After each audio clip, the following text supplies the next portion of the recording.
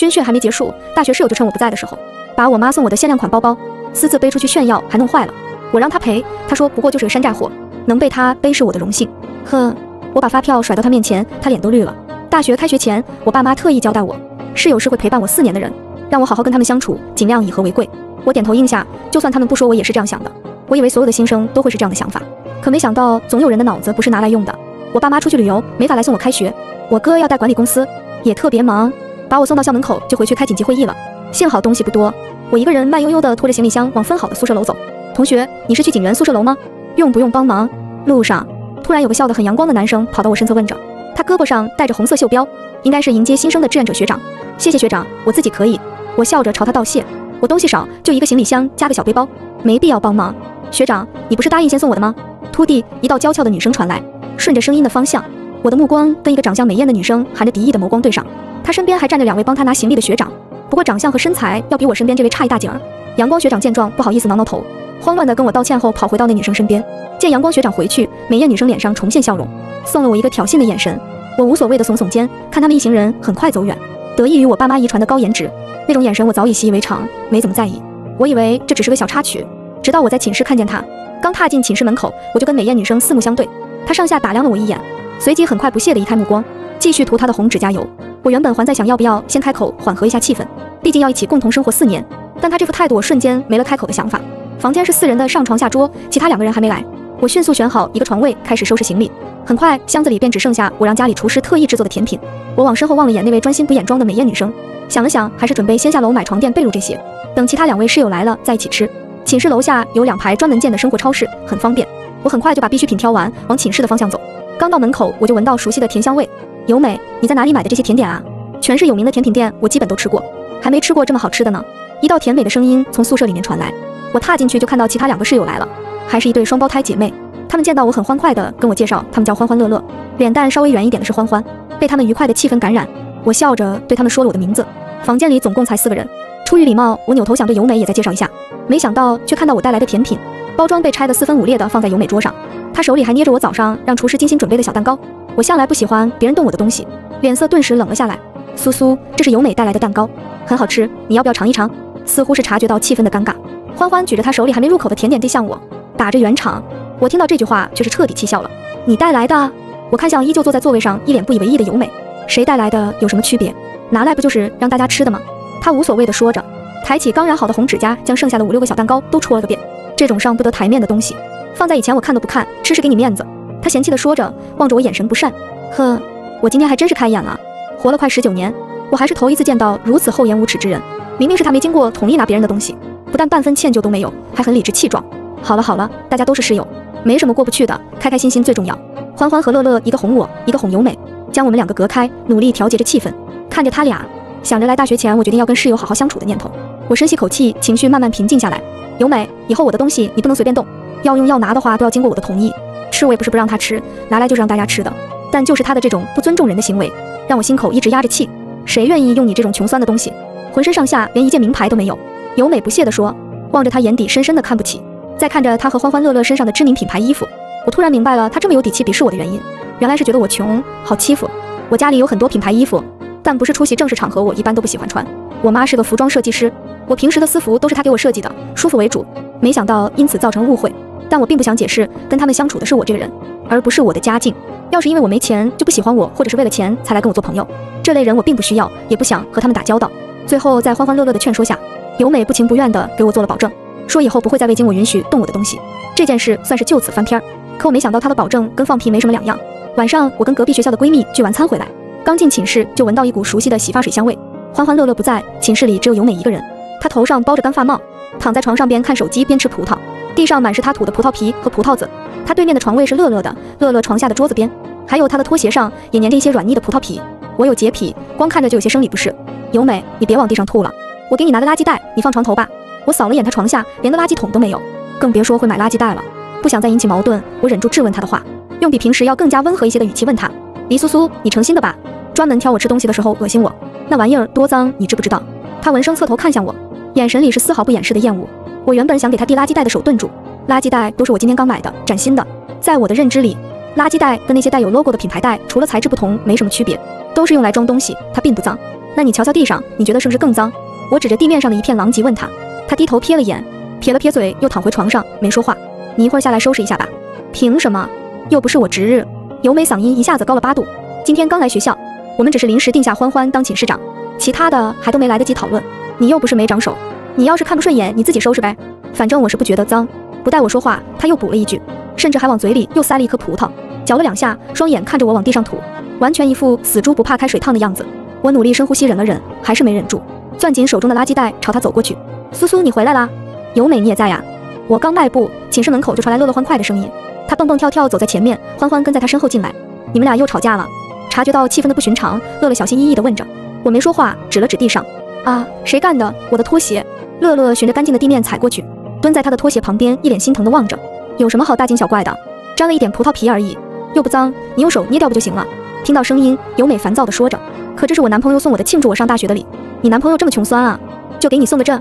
由美惊讶地打断乐乐说话，随即有些阴阳怪气地说：“就你这脑子，也不知道怎么投的这么好的胎，有这资本也不找个有钱的对象，白瞎了。”我看着地上那款 Prada 的限量款拖鞋，有些疑惑。尤美早上还嫌弃我的着装，不像是个不懂品牌的人。这款拖鞋虽然他们品牌将自家的 logo 放到最小，不仔细看都看不见，不过也不至于猜不到吧？很明显的 Prada 的风格。可是乐乐想说什么，又被尤美堵了回去。行了行了，我没工夫处理你们这些破事儿。鞋你要是还想要自己擦干净就行，至于这地就欢欢扫吧。这寝室长也不能白当不是。由美边说边从床上下来，拿起他桌上的吹风机，他嘴里说着不嫌脏，这脚却是跟跳格子一样离开他的床边。起开点，明明是中间还能再过一个人的路，由美却站在我面前说。我当然是不可能给他让的，站着没动。可我没动，我旁边的欢欢却动了。你从这边过吧。欢欢侧开身体，叹口气说。由美扶了扶他的干发帽，嗤笑一声，对着我翻了个白眼，擦着我的肩过去了。要是平时我怎么都得再撞回来，可现在我心里满是对这俩双胞胎的恨铁不成钢。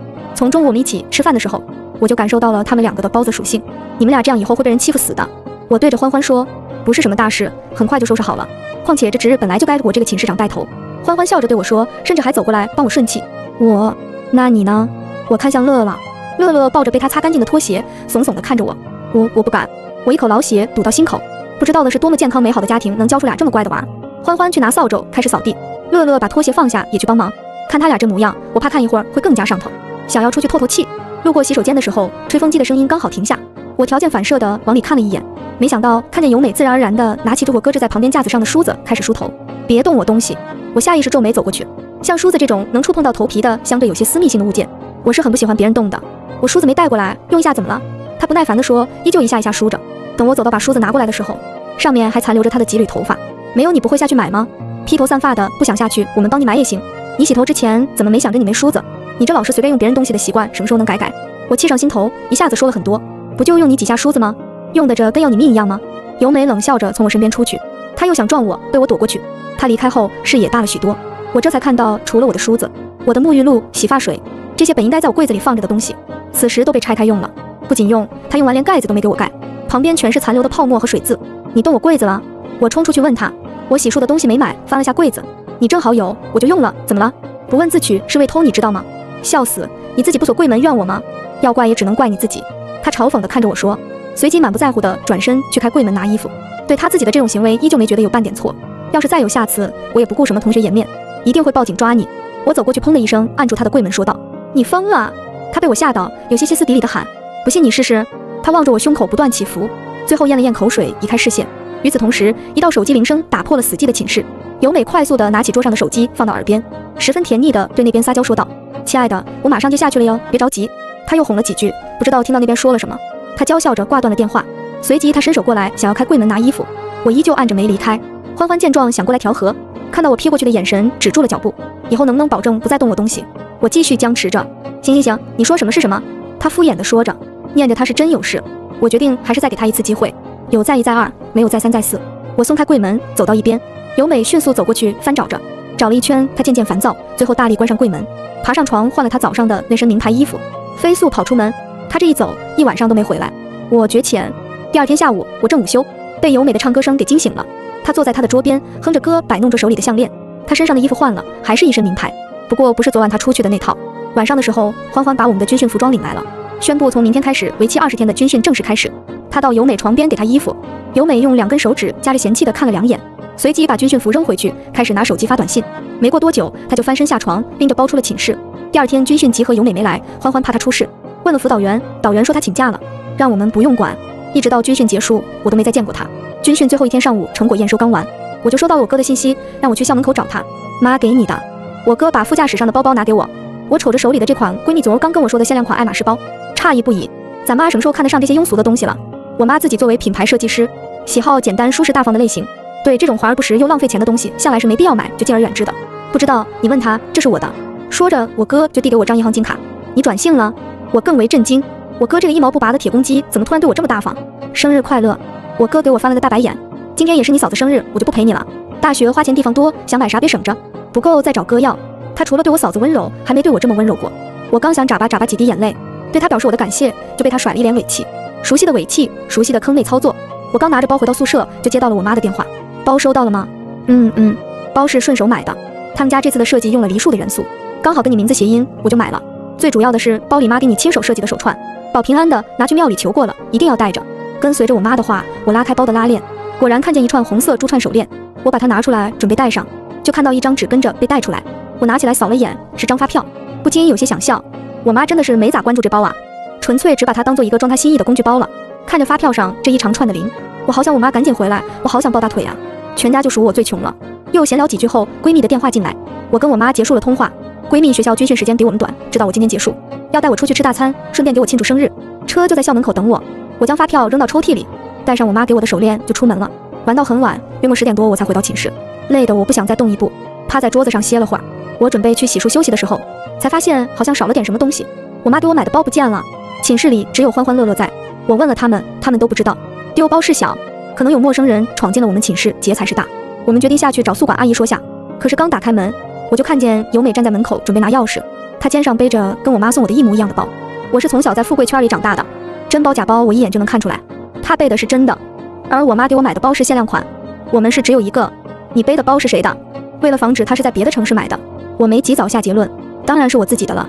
他听到我问，眼神闪躲了两下，随即理直气壮地说：“要是他说的时候手不抖的话，我可能还真的信了。买没买包可都是有记录的，你要是再撒谎，我就报警了。到时候你要是被抓进去留烂底，可别怪我。我最后一次警告他。”听完，他脸色瞬间就变了。给你给你，不就是个破包吗？一个山寨货有什么好炫耀的？要不是看着这个仿品仿的跟真的一样，我才不会背。他把包取下来砸向我，我刚接住就看到我包上那棵梨树上被划了一长道。像是被什么东西刮出来的一样，这怎么弄的？不小心划了一下。他摆弄着他的红指甲，漫不经心地说：“道歉。”他这副态度我彻底怒了。这包是我妈给我的一番心意，我本来想好好存着，却被他搞成现在这个样子。更不用说他又一次没经过我允许动我的东西，不就是刮花的假包吗？你这气量怎么这么小？他半点认错的知觉都没有，甚至还反过来怪我。听着他尖利的嗓音，我再不想多费口舌，拿出手机打了报警电话。你好，警察局吗？我。电话拨通，我刚说两句。由美就暴躁的朝我扑过来，扯我的手过去，摁断了电话。黎苏苏，你他妈是吃毒长大的吧？心这么狠，你演这么一出，不就是为了要钱吗？想要用这个包讹我？行，我给你这机会，说吧，多少钱？我赔给你这事就算了。他喘着气，用看穷酸的厌恶眼神望着我说：“哈，是舍我吗？我要是真穷，可能会有千分之一的几率考虑一下吧。可现在，你赔得起吗？”我冷笑着看他，不就是个几百块的破包吗？我全款赔给你。他不屑地说。我们俩的争吵引来宿舍楼很多同学的围观。欢欢怕事情闹大，想让我们进去说。由美却觉得我心虚了，非得在门口说，还让大家做个见证。要是他能拿出这笔钱，我要下跪接过去；要是他拿不出，他就给我下跪道歉。他这赌约倒是说得好，本来就是他的错。现在我倒是也成为惩罚的一方了。你说的全款赔，我提高嗓音又重复了一遍，足够周围的人听到。没错，穷批给不了全款，我就给你下跪道歉。他也把声音高了八度，趾高气扬地说：“好。”他说完，我就回寝室把发票拿出来，然后回到门口举到他面前，一百万赔吧。尤美愣了愣，突然伸手想要抢发票，被我躲了过去。你他妈抢钱呢？就这么个破包，值一百万？他扯着脖子喊。要真是个假的，那确实不值钱。可我这个是真的。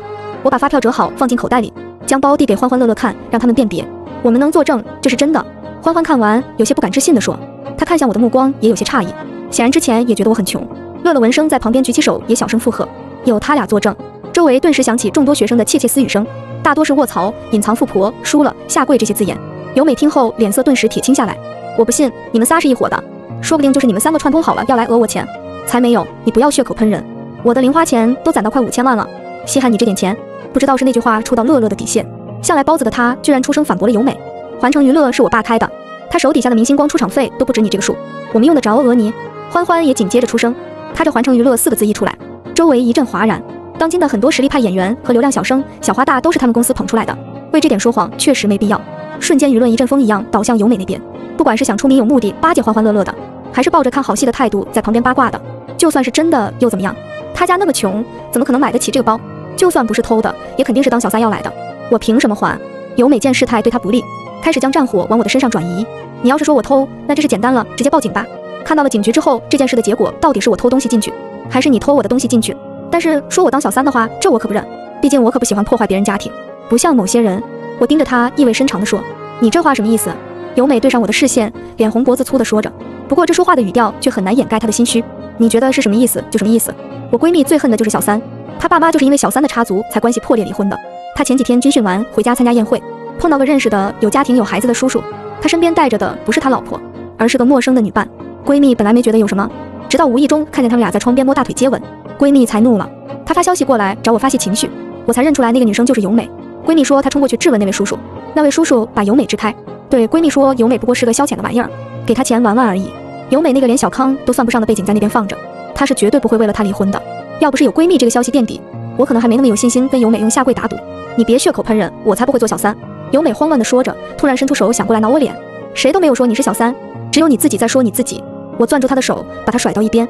由美贴着墙，愤怒地望向我，还想说些什么，我没给她这个机会。要么赔钱道歉，要么进警局，你自己选。我拿出手机，按下幺幺零三个数字。别打，我赔钱，我道歉。由美尖叫着说着。见我把手机放下后，她松口气，从口袋里拿出她的手机。我余额不够，你等我打个电话。她警惕地望着我说。我瞥了眼她，点了点头。随即她越过我进去宿舍，打开洗手间的门，又严严实实关上。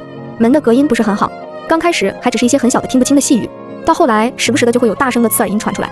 很快声音又降下去，渐渐的再听不到声音。我以为电话已经挂断，由美很快要出来了。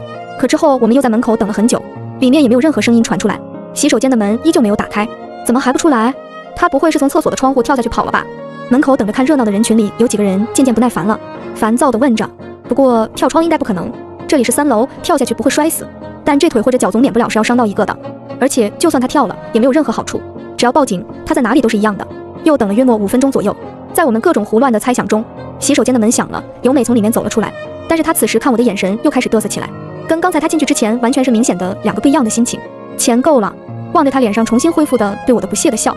我问道：“听到‘钱’这个字，他的脸色变了变，随后又很快露出了笑容。与此同时，我听到身后有人喊‘导员好’，而由美的目光此时也正盯着我身后的方向。顺着他的眸光，我看到一脸严肃的辅导员正拨开人群朝我们寝室门口走过来，一个个的没事干了吗？堵在这里像什么样子？他走到我面前站定，冷眼扫视了一圈后，最后对着我说：‘导员，我们不是要闹事，是在解决事情。’由美他欢欢见事情不妙，在旁边出声说着：‘他是寝室长，同时还是班里的团支书，平时和导员交集算比较多的。’我问你了吗？由美，你来说。导员没等欢欢说完，就打断他。由美这时也从洗手间走到了门口，她幸灾乐祸地扫了眼我和欢欢乐乐，张开红唇说道：“导员，您可得给我做主啊！我不过就是借他的包出去背了一下，也没做什么犯法的事，他们就带着这一大群人在这里欺负我，他们这是校园霸凌啊！”他满嘴唾沫乱飞地说着，不知道还以为他真的是受了多大的冤屈，这颠倒黑白的能力真是让我。长见识了。不过他以为在场这么多人都是瞎子吗？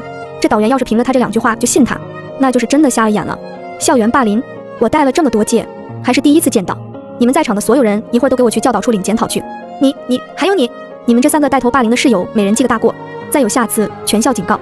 辅导员大声吼着，俨然一副完全相信由美话的样子，连疑问都没有，连问一下旁边这些同学是不是真的这样的话，一句都没有。我没想到这个导员还真的是瞎眼的。导员，事情完全不是由美说的那样，包是他没经过我允许私自拿的，不是借我的，而且他还把我的包弄坏了。我那款包值一百万，由美已经答应了会全款赔给我。要是赔不了，我就给我下跪道歉。我不甘示弱地解释着。导员听到一百万，愣了一下，随后看向由美，由美闪躲着他的眼神。我什么时候说过？谁能证明？由美看向我，趾高气扬地说着，显然打算耍赖到底。我们都能证明。他这话一出，周围顿时响起一阵学生们的齐声反驳。显然他刚才那波白的说成黑的，给我们身上倒污水的行为，已经引起了众怒。导员，救我！事态发展愈发出乎由美的意料，情急之下，他当众拽住了导员的袖子，说着。导员望着周围同学们的审视眼神，连忙甩开了由美。什么一百万不一百万的？你一个学生哪里买得起那么贵的包？辅导员清了清嗓子说，话里话外依旧还是在维护由美。那您认识这个吗？我将发票举到导员面前，他看了眼，脸色彻底铁青。导员，这么多学生都看着呢，难道您真的想为了由美一个人引起众怒，名声败坏，甚至被清出学校吗？我才不会被清！辅导员条件反射的开口，想到什么又及时的住了口。到底怎么回事？你怎么老是给我搞这种烂摊子？再这么下去，无论校怎么找我说好话，我都不会管你了。导员回身拧了下由美，由美委屈的揉着被掐疼的地方，还想说些什么？不就是个几百块的破包吗？我全款赔给你。没错，穷批给不了全款，我就给你下跪道歉。空气中突然响起由美之前和我的争吵声，所有人不约而同的看向声源的方向。有个戴着小兔子发箍的小姐姐拿着手机，紧张的望着我们。我刚刚在宿舍录我男神的歌，听到动静出来，忘记关录音，就把刚才的事情都记录下来了。这操作牛批！Y Y D S。被这么多人盯着，小姐姐以为自己做错事了，说话都有些结结巴巴。周围人看到小姐姐的害怕，纷纷给她鼓起了掌，点赞。小姐姐有些不好意思的摸摸头，到处都是一片和谐的愉悦氛围，除了由美和导员那块。导员听完，当即甩脸子就想走。你不能不管我，你要是敢走，我就告诉，让他把你赶出学校。由美忽然拉住他，威胁的说着。导员攥紧拳头，脸色一会儿青一会儿红的望着由美，跟他对峙着。几分钟后，导员败下阵来看向我，钱让他给你，下跪就算了，在学校影响不好。下跪这件事不是我先提的，要是他能拿出这笔钱，现在要下跪的就是我了。我可不觉得他会放过我，所以下跪不能行。我没有让人跪我的习惯，毕竟我还没上天不是。可我看着导员身后，依旧还是满脸不屑，完全没有任何悔改的由美，我还是没打算放过他。他现在的行为让我很不开心。我不开心的话，那大家都一起不开心好了。导员，由美听到我的话，又开始不停的摇晃辅导员。导员无奈看了眼我，还有我身边的欢欢乐乐，眼珠转了转。要不这样，你不让他下跪，我答应你们一个条件。以后在学校里面有任何事情，你们都可以找我，只要在我能力范围内，我都会做。他开的这个条件是有点诱惑力，但对我来说没什么用。我刚准备拒绝，就感觉袖子上传来一股小小的力道，我回头就对上乐乐含着一点点祈求的眼神。没事，苏苏，你不用管我们。欢欢看到，把乐乐的手挪开，小声对我说，显然是不想让我为难。但下不下跪这件事我没那么关心，我关心的只是由美的道歉。我权衡后很快有了决定，好，不用下跪，但钱必须分文不少的给。这道歉也是不能行的，尤其是道歉。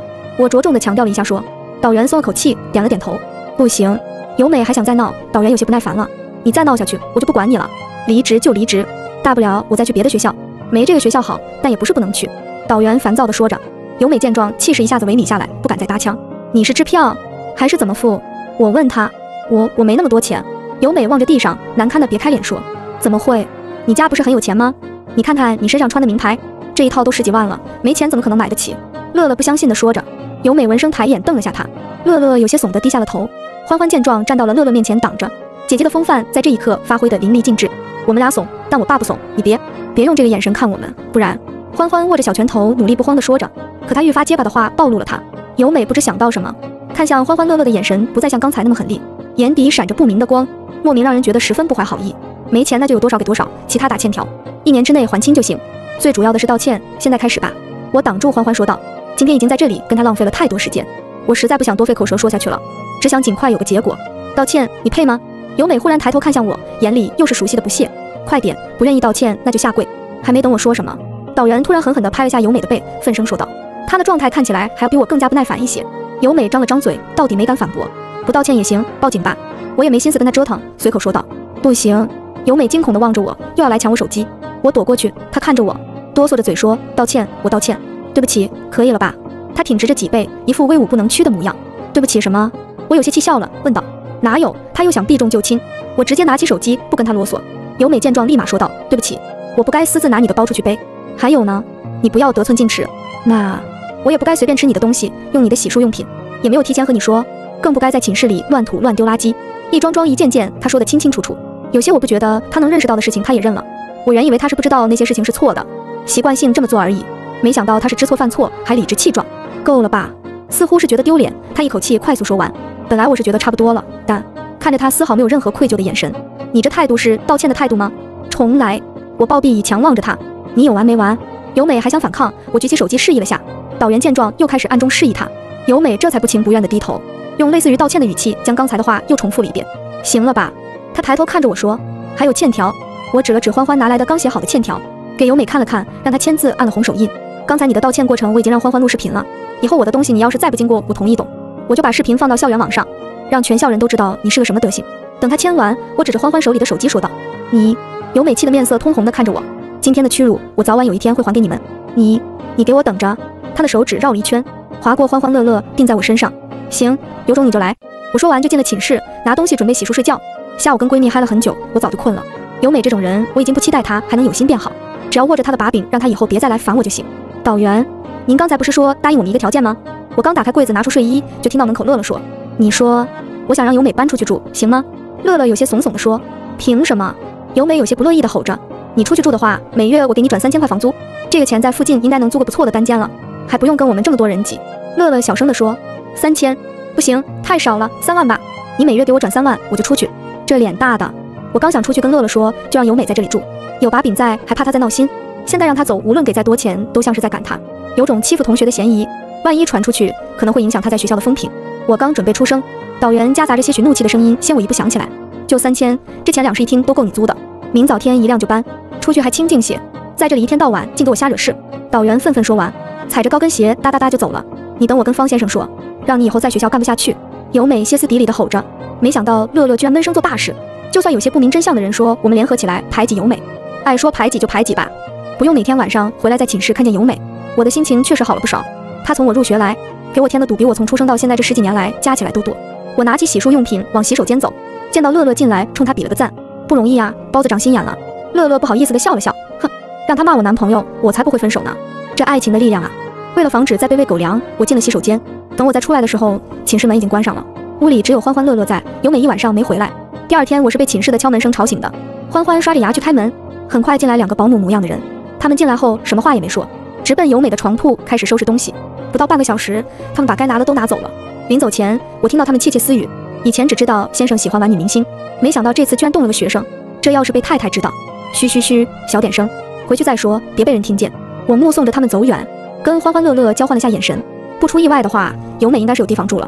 接下来的每天，我大学生活都过得无比舒爽，除了偶尔在上课碰见由美的时候，她时不时的身上总会多一些新的贵重东西，要么是项链，要么是手镯，偶尔是手表什么的。每次她有新的饰品或者衣服的时候，都会刻意来我面前炫耀一番，嘲笑一遍我的穷酸。不过问的更多的是关于我的金主，说我傻批，以色侍人除了个值钱的包外，什么都没换回来，就差说我比不上他会拿捏男人了。我从不反驳他，任由他见识浅薄的想象。这时候我通常都是把欠条拿出来，他马上就气矮一截。我从没想过我会如此喜欢债主这个称呼。日子很快就过去半个月，在中秋节前，我爸妈终于从国外旅游回来了。我妈回来后第一件事就是打电话让我回家，商量给我重新补办个生日宴会的事情。我生日都过去一个多月了，再补像什么话，我马上就否定了。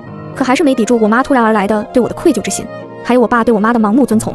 最后这场生日宴办的全家人都很开心，包括我嫂子，除了我。不过真的宴会开始的时候，我发现我心里还是有些小雀跃在的。这种快乐的心情，直到我在我们家花园里面遇见由美的时候戛然而止。呵，黎苏苏，没想到你还挺能耐，这种级别的宴会你都能蹭着来。你那位金主呢？让我看看是个多肥多油腻的老男人。由美堵住我，伸长脖子往我身后看，没有什么金主，他身上的香水味呛得我难受。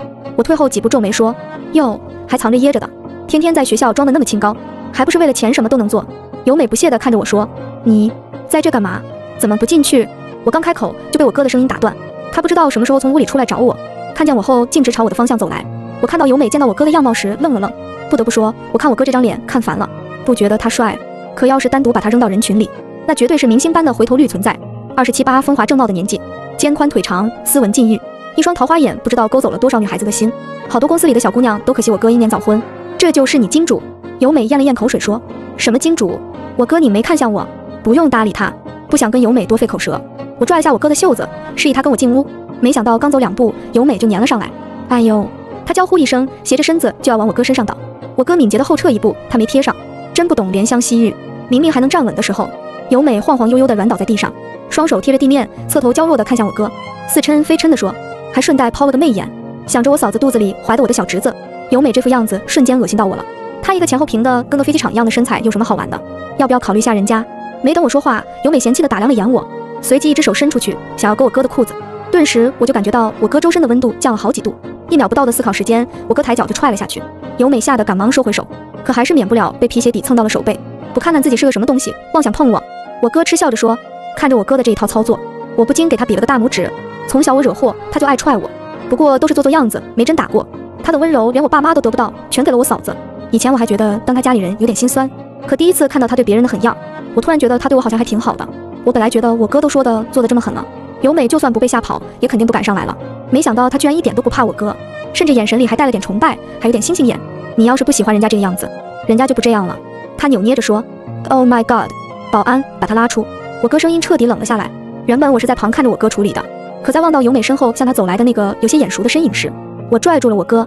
我来处理。那个身影，我在我闺蜜给我吐槽的照片上看见过，就是上次带由美去她家参加宴会的那个大叔。我哥本来是不相信我，可在我执着的眼神中，他妥协了。行，反正是你惹的烂摊子，不过你一定要处理好，要是发生意外，让他打扰到你嫂子，惊动了胎气，你大学四年的生活费我都给你断了。我哥警告着我，那犀利的眼神一点都没在开玩笑。我连忙点头。为了防止我做事不周到，我哥没走，退后两步站在一旁看着。由美见到我哥往后退，站起身想要跟过去，被我半路堵住了。你干什么？这么严肃的堵着我？怕我抢你金主？由美轻视的看着我，你在学校不挺自信的吗？怎么现在出了学校，察觉到你跟我的差距了？穷酸就是穷酸，永远上不得台面。他不屑的说完，就想跟以前一样撞着我的胳膊越过我走过去。我这次没给他机会，直接攥住了他的肩膀。笑话，要是在我的地盘还被他欺负，我直接拿块豆腐原地撞尸算了。你觉得我的金主很帅，想跟我抢？我挑了下眉问他，是？他毫不犹豫的承认，仿佛稍微犹豫一秒，都觉得太看得起我了。那你自己的金主呢？他长得不帅吗？说这句话的时候，我刻意动了下上身，让由美刚好能看到我身后的我哥。果不其然，他脸上顿时浮现嫣红。你不要污蔑我，我没有金主，跟我一起来的那个只是我的男伴。他又肥又老的，哪里能跟这个哥哥比？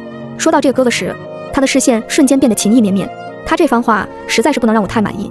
看着他身后变了脸色的男人，我凑近尤美耳边说道：“你看看你后面是谁？”尤美回头对上中年男阴沉的眼神，顿时腿软滑倒在地上，浑身发着抖，许久没敢抬头。中年男瞥了眼他，径直走过。扬起笑脸朝我哥伸出手，李总刚想敬你一杯，没看见人，怎么跑这里来了？与他有些油腻的外表不同，中年男的声音十分的温文尔雅，又是惯常的应酬套路。看着我哥戴上他常用的假笑面具，开始交际，我觉得没什么意思，想走，没想到被中年男叫住。这位是中年男的眼神在我和我哥之间来回暧昧巡视，我哥刚还有一点笑容的冷，顿时彻底冷下来。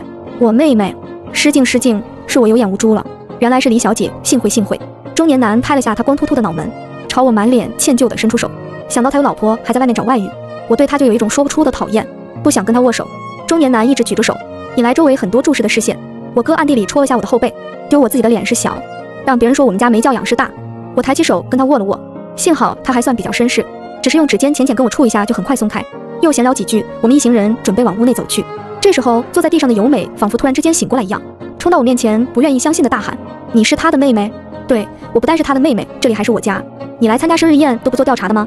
今天你来的这场宴会是专门给我黎苏苏庆祝生日的，当然不可能只是给我过生日，更多的是给他们这些商界的人提供的交际的场所，拉近彼此之间的塑料感情。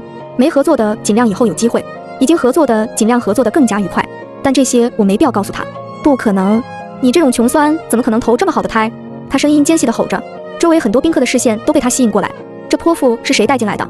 我哥被他吵到，回头有些烦躁地说：“李总是我的女伴，实在不好意思，让我来处理。”中年男饶是有丰富的社交经验，可带着的女伴做出这种让人能称之为泼妇的行为，还是让他的脸色沉了下来。而这些负面情绪，他当然不能对我哥发泄，毕竟有错的是扰乱宴会的人。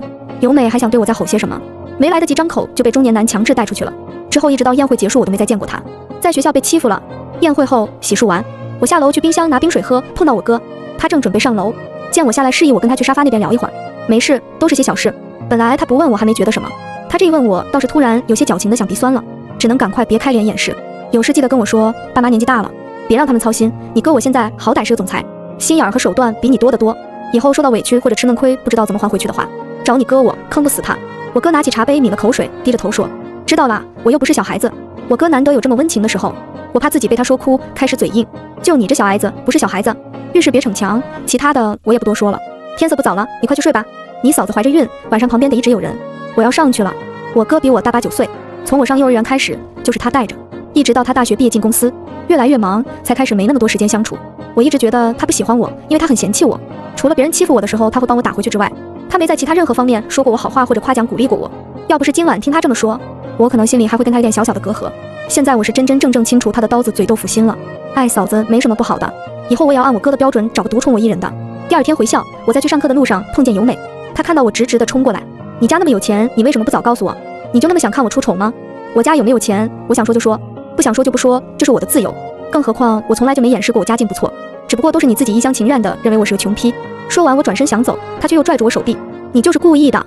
他恶狠狠地看着我说，攥着我手腕的手开始用指甲掐我的皮肉。我吃疼，将他甩开。不管我家穷不穷，这都不足以作为你评判该怎么对我的标准。